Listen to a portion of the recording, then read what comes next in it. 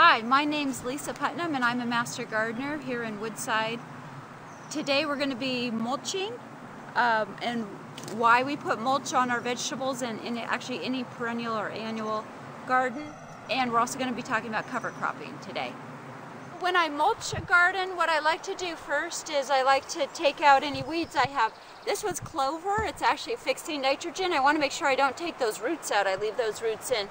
The others, ideally use, uh, leave the roots in, but it doesn't really, it doesn't really matter. You can notice when I'm weeding, I'm just putting the weeds down onto the ground because they're going to provide a extra little layer of mulch. They are, all they are is nitrogen right now, so they're just going to add a little bit of nitrogen. I like these weeds, mallow.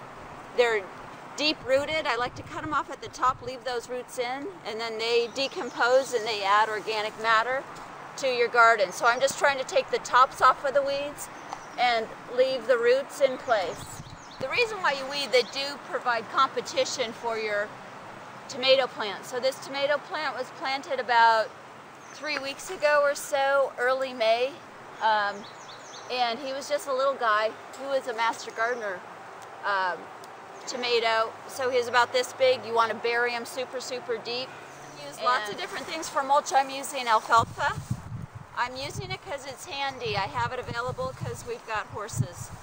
Um, but you could use rice straw, you could use um, any kind of um, any kind of straw.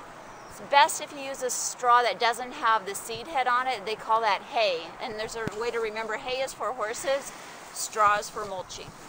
Um, and you just put it down. I put it in about, I'm going to guess it's about two or three inches deep.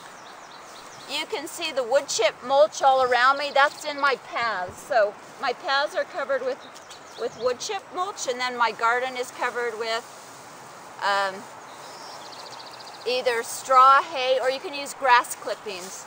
So what I like to do is uh, when I when I mow my lawn, if you're not grass cycling, which is actually the best thing to do is grass cycle, but if you're not grass cycling, save those save those clippings. They're so uh, they're so fine and they're a great mulch. Um, also, mulching conserves water, so you can water about 50% less when you mulch.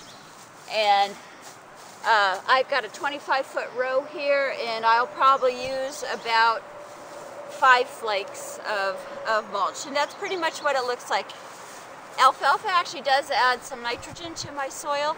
So you can see how that's going to protect my soil from the beating sun. And in the winter, you want to mulch year round. In the winter, it's going to protect your soil from uh, rain uh, going down on it. Compaction really hurts soil because it hurts the life in the soil. And that's my mulch.